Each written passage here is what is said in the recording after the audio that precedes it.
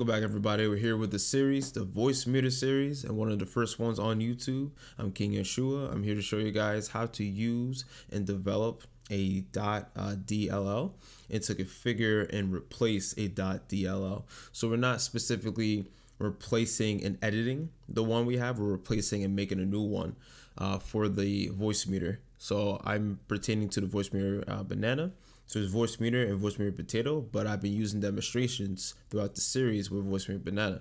So definitely subscribe and stay tuned to everything because this is around the time where we end the series. We're combining some of the ideas of the command line in the registry all together in code, which is the .dll, and configures and uh, really launches uh, everything within the executable. So it helps that the executable um, execute throughout the whole program. So uh, so yeah, I'll be getting right into it. And um, any suggestions and anything you guys put in in the YouTube community in the comments will be added to the series. But otherwise, this is around uh, last time we are going over uh, Voicemeeter in its wholeness. So I really appreciate uh, showing you guys everything and go into detail on all the basics and go into all the in-depth technical stuff with you guys throughout the whole series. So it was really a good ride and let's get into the last video.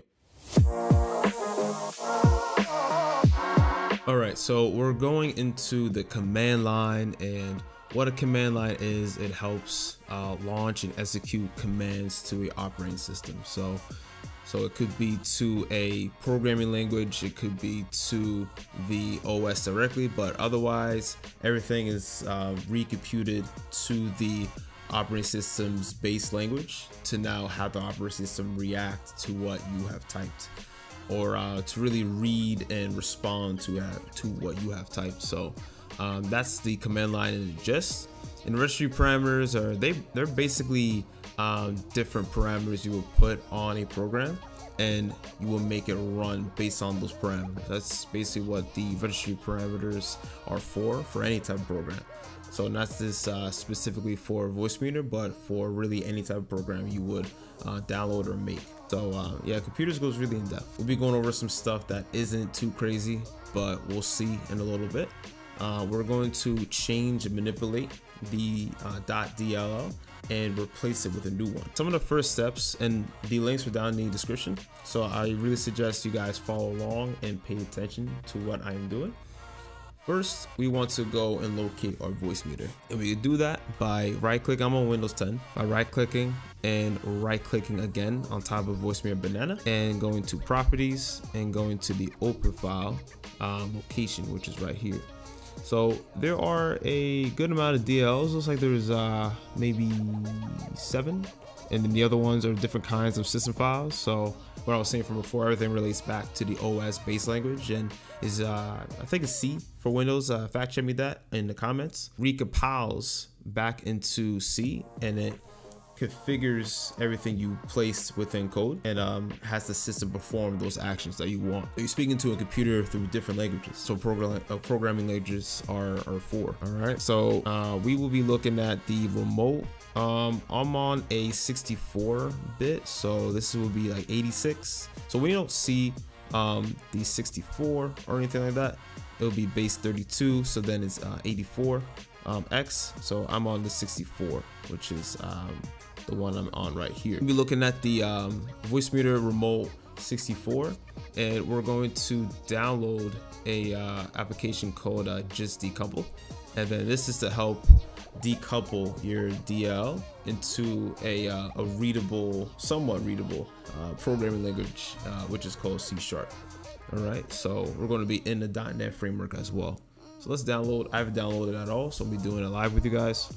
We're gonna download it. We'll put it to the downloads, and we'll put it right there. And then let me just make sure I have enough space in general. Uh, I should have enough space for this, so Let's go ahead, reopen it. Like to just see everything else that I have and potentially delete it for later. Let me go ahead and uh, click on it and it's configuring and then it shows you everything else it offers. So it's pretty cool, but we just want the top one, which is the uh, just couple. So you're about to install, go ahead and continue. Definitely um, look at where you want to put your uh, decouple uh, for now. I'll just put it on my uh, my C, my main drive. Uh, you need to accept. Yeah, I accepted. I read it. You know, I went so fast that I read it somehow. And then we'll need to uh, to log in. So uh, you'll have a uh, trial when you're using this. So it's always good to make your own code. And uh, over at CYBE, we're making our own code. So um, we're making it available to public and private users. So definitely stay tuned with CYBE Cyber Connect and uh, you'll be informed pretty well. So let me go through this. I'll probably cut it out or just fast forward to where we are at the point of installing it fully. All right, looks like I got through. The login is successful. Let's install. All I want to do is just use it for this video. I'm not going to be decoupling all the time. So activate some command props for you. Then we're just gonna wait for it to fully go. All right, looks like it downloaded. All right, so I might be cutting some of this out, but we'll see where we can find it. All right, so it's on our desktop.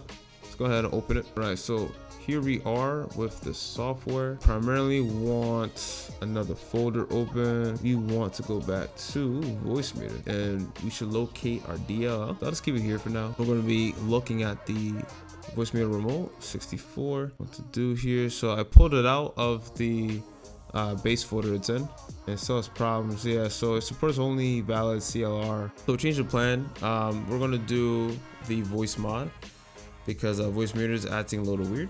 So we can have a better example if I did Voicemod and we just drag it in. So I dragged it in here already. I'll just redo it so you guys can see if you're visual learners. We just dragged it in here. So I'm able now to look at the DIL and I can reconfigure the DIL and save it here, right? So you will go to now Streamworks and then basically what I went to is uh, I was covering it. Basically what I went to was here down here and here not too hard. And i can look at all of what i look at from this DIL right? From what was made.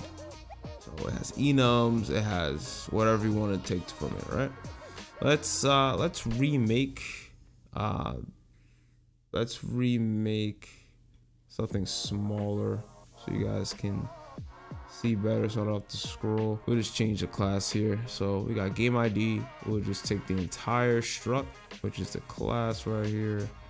The whole thing, right? Click the entire struct, it's serializable. And then you want to also have what I was going to show as well. Also want to have Visual Studio. And Visual Studio is basically your editor for any type of code you want to do in C Sharp or .NET. Right. So know your system, understand your system, and download Visual Studio or Visual Studio for Mac. But we're probably on Windows. Done a few cases where you can't really use Voicemeeter on Mac. I'll have that linked as well. Uh, pretty old video, but uh, we'll want to do Visual Studio and already have it installed. And do the community. Don't do professional or enterprise because you'll need a license. We're just doing community. We're just doing testing and configuring, right? So make sure you guys have that together. Once you have Visual Studio, open up Visual Studio and you want to be able to make a new project. And ultimately, once you make this new project, you want to be able to build it and you want to see where the build is. When it builds it, it makes it .dil. So that's the whole point of um, reconfiguring within this part of the video. So we'll want to um, just make a new project. Once we're making this new project, we can find it a little easier if you do uh, .NET. It's a little weird, and then we want it to be .NET um, application. So a class library. This is the one you want. Class library.net. That's the one you want to choose. Go to next, and then testing. I usually don't do space testing. Uh, Voicemod. Changes. And I have videos on Voicemod that will be linked in the description or most likely on the video. Testing Voicemod changes by DL. By DL. Let's go and correct that. It'll be anywhere you want to put it and then you just have to find a deal. and I'll show you guys how to find that deal. Here, paste, and we want to do maybe a console. So you want to console dot right. If I'm going too fast, guys stay together with everything if I'm going too fast because uh, if you're not understanding this, um, definitely stay tuned to my videos coming out on computer science. Hello universe is usually what I say. Hello universe. So this will execute anytime this method is being ran throughout this whole class. That's as usual what happens, but we just want to see the change. We save that. And once we save it, we want to build, and then we want to make sure down the bottom, build, build. Let's run it.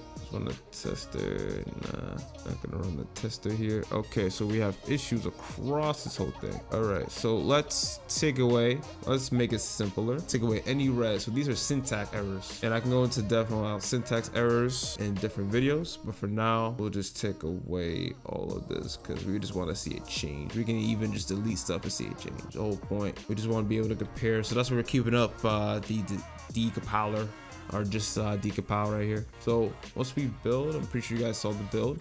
Go down here and build. It doesn't matter how many times you build. Um, one is up to date, so it didn't really build. It didn't need to because nothing changed, right? So we go to file and then we go to open and then we go to folder. So I'm just gonna go this way to find it. Uh, let me just uh, paste it here, go there, and then now it's inside of here you go um well i'll just take a new folder. So i'll just open in the new. Have that. So we don't really need this anymore because we need to see it inside of here so we can decouple it because it's another .dil file. So now we have this and we want to go to bin debug and now this is another .dil file. Let's go ahead and we have this active so let's close this. So we have some space put it up in here. We now just uh, decompiled what we made.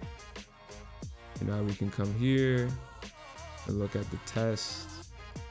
Click on it. And now we see everything we changed. We see our hello universe for a more uh, specific change to see it easier. And now if we go back to uh, to here, looks like it just keeping one. It's not a big deal we go back to our C game and everything that was deleted from uh, from here is still here because there's another folder. Oh there's another file inside of another folder.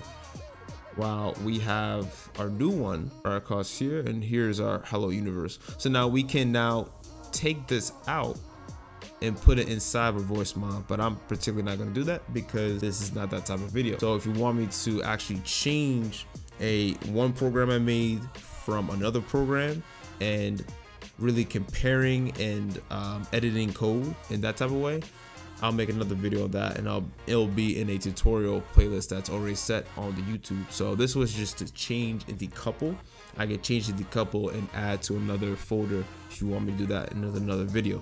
So that's really it. That's really um all of what I can really show you in Voicemeeter uh, to my extent to my knowledge some things have changed within how um, the videos are laid out, but generally that's how you would go so deep for for audio. Uh, VoiceMod is another audio um, software. That's why I used it. I didn't want to use a, a random software, and uh, I have videos on that that are already linked.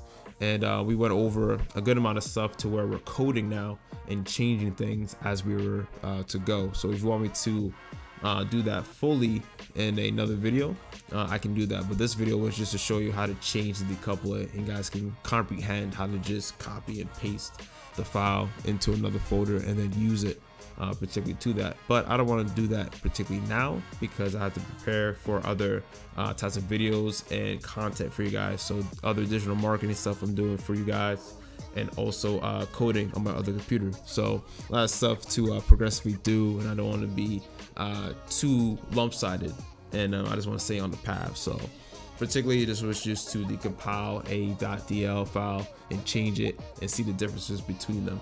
So that's it. Um, Voicemeeter and then videos on Voicemod and Discord and Zoom uh, have also been added to the uh, playlist and the series overall. Um, overall, I really enjoyed it. Um, it was a, a fun series. It was a fun time showing you guys everything about Voicemeeter and what it can do from latency to connecting it to different softwares to adding softwares on top of Voicemeeter and being able to really show the capabilities of what you have uh, disposed to you. It's really up to you guys to learn more and understand what you can do with different pieces of hardware and software. So, and we can go really, really in depth into that, and we already do in cyberconnect.com, where it will launch, particularly not so soon, but within a few months. So, but I'm looking around a year from now, so from March and April and May, it should be launching within that time of a year. So, definitely stay tuned to a lot of stuff that are coming out, a lot of the ideas of Voicemeeter and Voicemod and software in general hardware in general, gaming, everything, cryptocurrency is all software, is all computer science at the end of the day. So we cover all that at cyberconnect.com. This Voicemeeter series has been really fun. You guys are talking in the comments and giving me suggestions and feedback and and uh, I really appreciate it because this is what you guys are wanting. So you guys are looking this up. You guys are asking for CYBE, and uh, we are delivering at all times. So um, anything else you guys want me to go over, definitely let me know, and we can definitely uh, go into any question you may have that uh, pertains to a type of software, something away from Voicemeeter, something to add on to Voicemeeter, a whole nother software, a whole nother game, whatever. So um, anything you guys need, definitely keep up with everything and uh, keep your notifications on at all times. And definitely stay tuned to the uh, social media as well and join the Discord.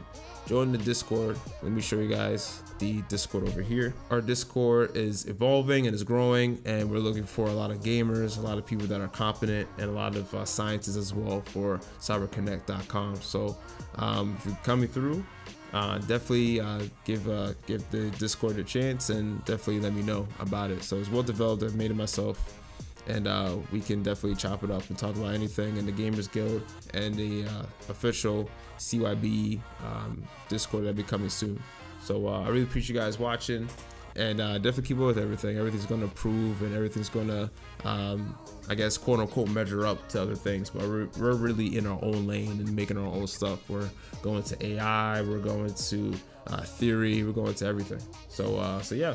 So I'm really glad you guys are liking the whole series. I'm glad you guys are understanding everything. We went over Discord uh, just now and a few other things coming in the future. So I'm really glad you guys are understanding each and every part. Let me know, like I said, in the comments in the YouTube community. We'll go over it. We'll make new videos, uh, especially videos you guys suggested, and we can definitely go more in depth on anything you guys want. So it's all about communication and knowledge at the end of the day. Take care and peace out. I'm looking forward to the next series and the next videos uh, coming your way.